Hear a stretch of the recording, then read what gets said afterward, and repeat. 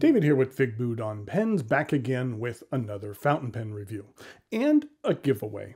Uh, today I have for you a pen that really surprised me, and that is the brand new release from Narwhal called the Nautilus. Uh, this is the second pen named Nautilus I recently reviewed. Uh, a few weeks back, we had the Nautilus from Tactile Turn, but that one was a rollerball. Uh, this Nautilus is a fountain pen and from Narwhal. Uh, what I'm going to do today is go over the parts and features of the Nautilus, talk about what I care for and what I don't care for about the pen. I'll show some measurements, size comparisons, provide a writing sample, and let you know how you can enter to make one of these pens your very own, courtesy of Narwhal who provided these pens for review and to give away to one of you. Now, I say that this pen surprised me because when I was contacted by the good folks at Narwhal and they uh, wanted to know if I would care to review their latest offering, which was going to be a pen made from ebonite, uh, I agreed uh, sight unseen. Um, what I expected was something maybe similar to Narwhal's existing models, but made from a different material. What I didn't expect was a completely different pen with a brand new design element and an overall step up in quality and looks that we hadn't seen previously from this burgeoning brand. So let's take a look at a pen.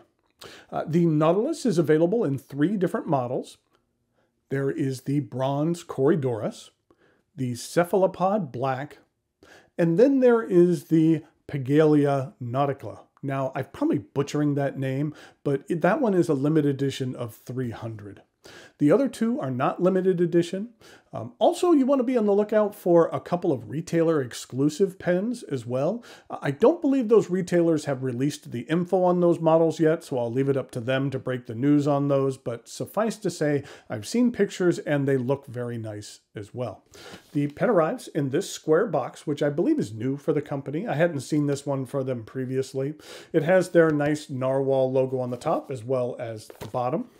And then inside we have the actual box. On the front it says Narwhal Nautilus and has a magnetic closure.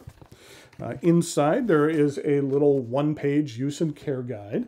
And then we have the pen. Let me get this out of here. This particular one is the Bronze Corydoras. Uh, each of their pens typically have names relating to the sea life or water of some sort. A Corydoras is a small freshwater catfish. And here is the cephalopod black that has black trim. Uh, there are a number of sea creatures belonging to the cephalopod family, but the main ones are the squid, octopus, cuttlefish, and nautilus. Um, I think the bronze really shows up a bit better on camera, so let's focus on this one, but I will give you a closer look at the black model later. Um, the pen is made from a European ebonite. It has a traditional cigar shape, and the trim is antiqued bronze. It just feels really solid, and it's a bit heavier than the standard acrylic resin models from Narwhal. Um, from what I can tell, it's just about all of the parts on this pen are brand new, uh, meaning that I don't believe that they've been recycled from previous models. Uh, like they have used the same clip on a number of other models. Uh, let's start by taking a look at the cap. The top is rounded and inlaid with a piece of that antique bronze. Uh, then we have the clip. Uh, as I mentioned, I believe this is a new clip design for Narwhal. It is rather thin, it's a semicircle, but I really like the treatment on this bronze. Uh, it gives it a rather unique and weathered look. Uh, the cap is straight, and at the end there is a really nice bronze band. Uh, the band is stamped uh, rather than being engraved, which gives it a really nice look, and includes the narwhal name, as well as a rather cool ocean motif with some waves. It's a nice step up from a traditional, rather bland band. There is a medium-sized step down to the barrel, which begins with one of the most distinguishing features on the pen, the three porthole-shaped ink windows. I think these are pretty neat. I like that there are three. Uh, you can't just have one because then light won't be able to really get in there and show you your ink situation. And two might have looked like just someone just poked a hole through the pen. I think three was a good design choice. I've seen other more expensive pens on the market with ink windows somewhat similar, which have had a rather sloppy trim work around the edge. Uh, the brass rings uh, in this particular pen fit well in these holes, and I think there's been some attention to detail in the manufacturing of this pen.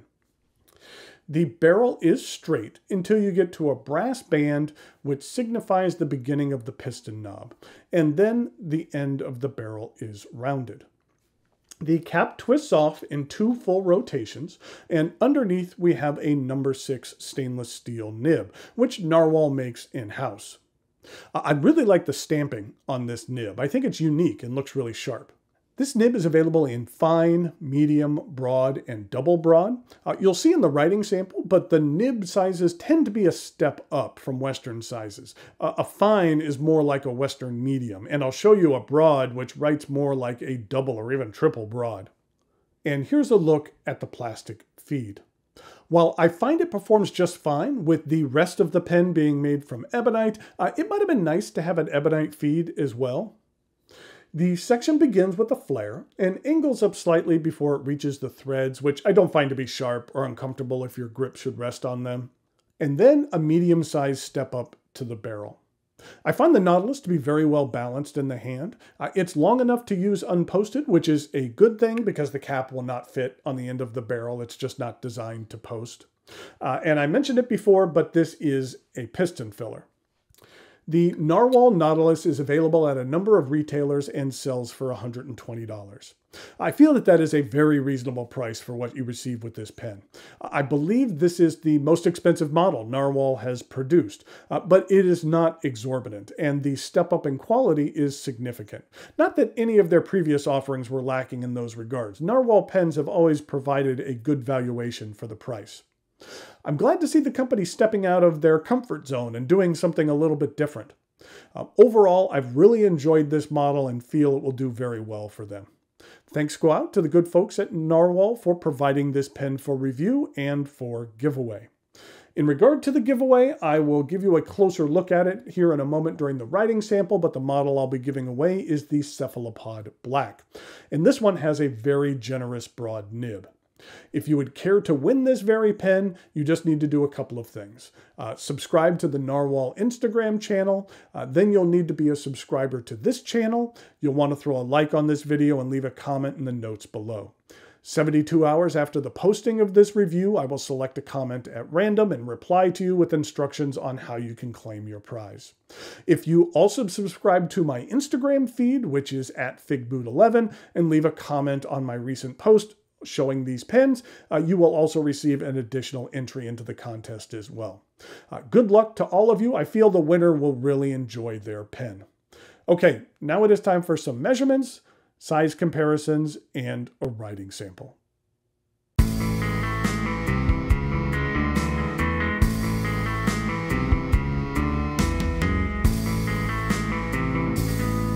So here we go with some size comparisons for the Narwhal Nautilus.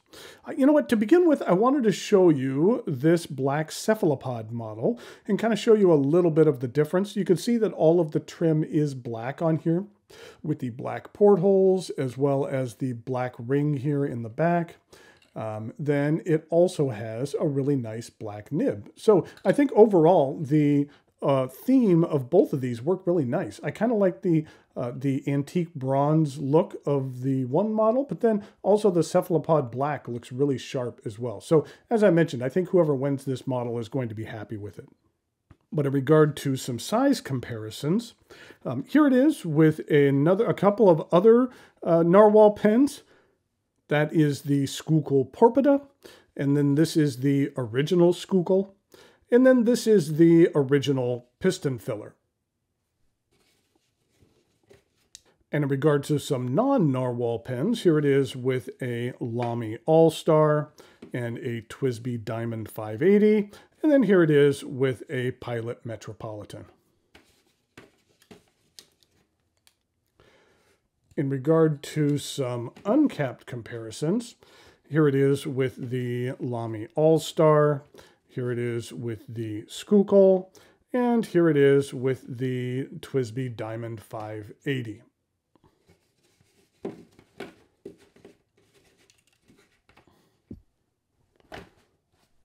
Here we go with the writing sample for the Narwhal Nautilus.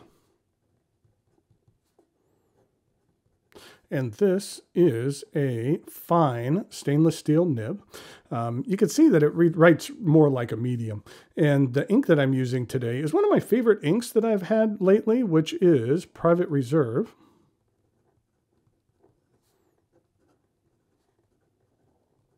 Copper Burst.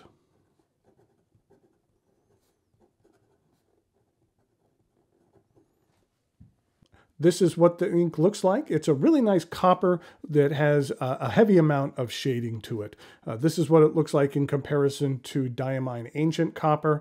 Uh, and then also here it is with the SBRE brown, which is a much lighter brown. But still, if you could get a hold of some of the SBRE brown, it's very nice as well. This is what the bottle looks like. It's a nice 60 milliliter bottle. I really like this wide neck on the bottle so you can get any nib in here whatsoever. And here we go with the rest of the writing sample.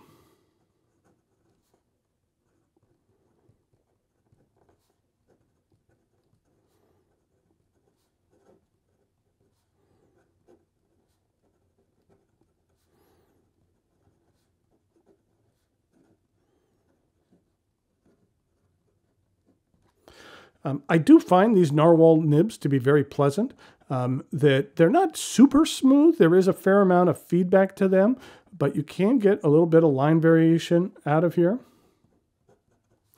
Um, in regard to ink flow, this is a fine, but it's decent. In regard to some reverse writing,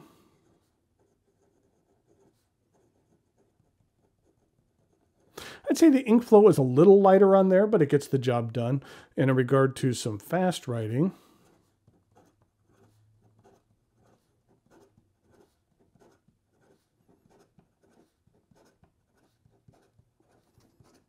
There's no issue with the feed keeping up at all. I also wanted to show you the broad nib on this cephalopod, and this one is, we'll just say, we'll just do a regular writing sample.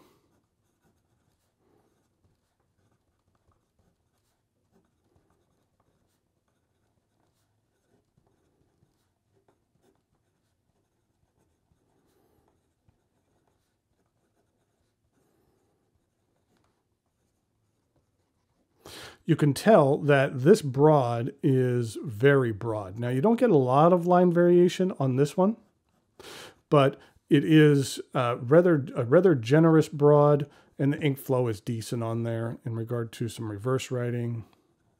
It Doesn't look like reverse writing is really the thing for this particular nib. But in regard to some fast writing,